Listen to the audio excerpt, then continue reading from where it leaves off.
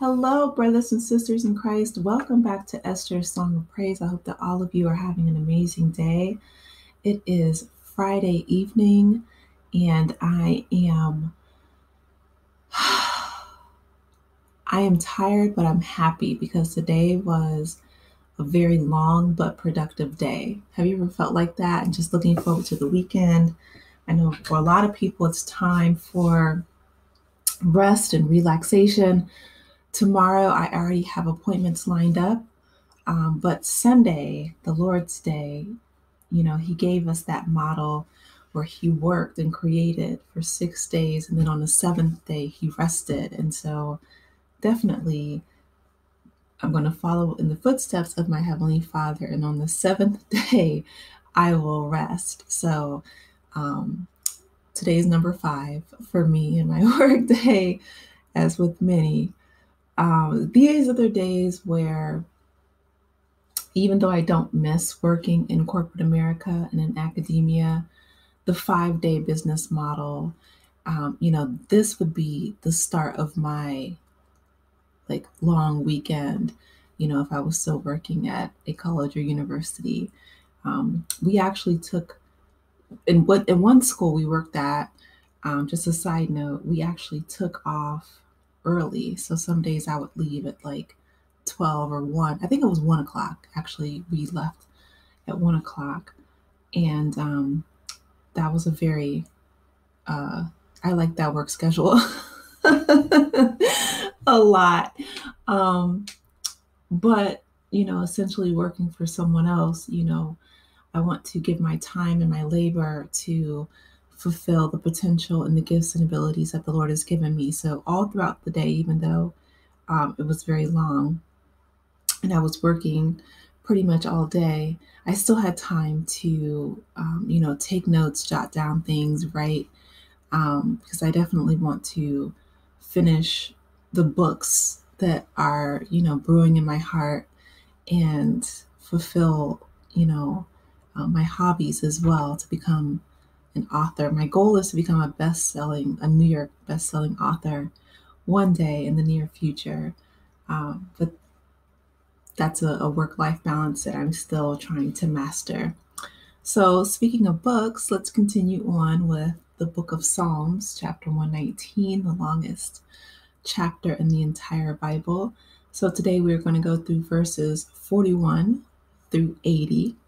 I'm going to ask the Lord to bless His word and then we'll get right into it. Lord God, we thank you so much. What a difference a day makes. We thank you, Lord God, for another day here on earth. We ask that you would bless your word today, Lord God, that you would bless my brothers and sisters out there, Father, in the world. We thank you and we just glorify your name, Lord. Continuously do a work in each one of us, Father God. Help us to use our gifts and our talents, our voices to lift up and praise your holy name, Lord. We ask that you would give us wisdom from verses 41 through 80 in the chapter that we're going to read today, Psalm 119. Father, we just ask that you will be glorified. In Jesus' name, we thank you we praise you. Amen. The book of Psalms, chapter 119, verses 41 through 80. May your unfailing love come to me, Lord your salvation according to your promise. Then I can answer anyone who taunts me, for I trust in your word. Never take your word of truth from my mouth, for I put my hope in your laws. I will always obey your law forever and ever. I will walk about in freedom, for I have sought out your precepts. I will speak of your statutes before kings and will not be put to shame for I delight in your commands because I love them. I reach out for your commands, which I love, that I may meditate on your decrees. Remember your word to your servant, for you have given me hope. My comfort in my suffering is this your promise pres- pre- preserves my life. I'm sorry, you guys, forgive me. I'm so tired. It's 11:39 p.m. Just a side note, but I will press on. Your promise preserves my life. The arrogant mock me unmercifully.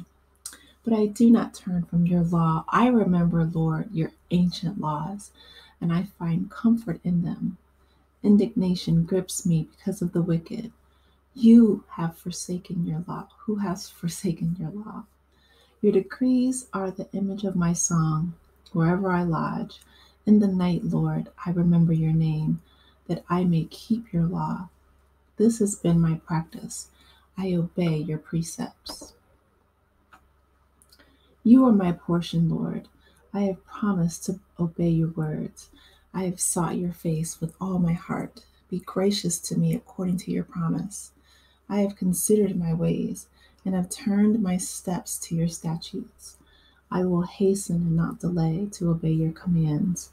Though the wicked bind me with ropes, I will not forget your law. At midnight I rise to give you thanks for your righteous laws. I am a friend to all who fear you, to all who follow your precepts. The earth is filled with your love, Lord. Teach me your decrees. Do good to your servant according to your word, Lord. Teach me knowledge and good judgment, for I trust your commands. Before I was afflicted, I went astray, but now I obey your word. You are good, and what you do is good. Teach me your decrees. Though the arrogant have smeared me with lies, I keep your precepts with all my heart. Their hearts are callous and unfeeling, but I delight in your law. It was good for me to be afflicted, so that I may learn your decrees. The law from your mouth is more precious to me than thousands of pieces of silver and gold. Your hands made me and formed me. Give me understanding to learn your commands. May those who fear you rejoice when they see me. For I have put hope in your word. I know, Lord, that your laws are righteous, that in faithfulness you have afflicted me. May your unfailing love be my comfort, according to your promise to your servant. Let your compassion come to me that I may live. For your law is my is my delight. May the arrogant be put to shame for wronging me without cause, but I will meditate on your precepts. May those who fear you turn to me, those who understand your statutes. May I wholeheartedly follow your decrees, that I may not be put to shame. May the Lord bless the reading of his word today. So, of one of my favorite verses, and a verse that definitely stood out to me, was verse 71, where King David says, you know, or let's go back to verse 70. Um, and even verse 69 says, Though the arrogant have smeared me with lies, I keep your precepts with all my heart. Their hearts are callous and unfeeling, but I delight in your law. It was good for me to be afflicted, so that I might learn your decrees. The law from your mouth is more precious to me than thousands of pieces of silver and gold. 71 stood out for me because, um, you know, that this is King David writing this. But during the time where, you know, he is at one of the lowest points in his life, And even though he's literally trying to save his life, he can look around and say, you know what? It's good for me to be afflicted so that I might learn your decrees. He recognizes, you know, similarly to um, to Paul when he was crying out to the, to the Lord for deliverance from the thorn in his flesh. And the Lord said, you know, my grace is sufficient for thee, meaning that we can learn from the times of suffering in our lives. The afflictions that we come are not always outside of the will of God. If you guys remember when Jesus was in the Garden of Gethsemane and he was really going through it before before Calvary, he was still in the will of God. There was never a time where Jesus was out of the will of God. Even when he he was, you know, turning over um, the tables and calling out the Pharisees for setting up a marketplace within the, house of God. You know, he said, This is my father's house. Um, you won't desecrate it. all those times, he was always in the will of God. And so here, you know, David is saying, it's good for me to be afflicted. It's good for, you know, um, me to go through these things so that I may learn your decrees. You know, we know in Romans 8 28, all things work together for good for them that love God and are called according to his purpose.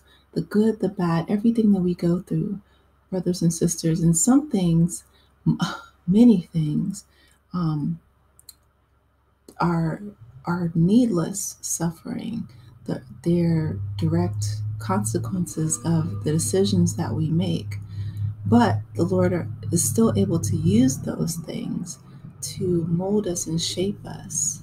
He's able to use the afflictions in our lives to make us more like Him. So that's the verse that stood out to me. Um, but I want to hear from you guys. What are your favorite verses from this chapter? Let me know in the comments section below. Please be sure to like, share, and subscribe to the channel if you have not done so already. And I will talk with you in the next video. Take care and be blessed, brothers and sisters. Goodbye.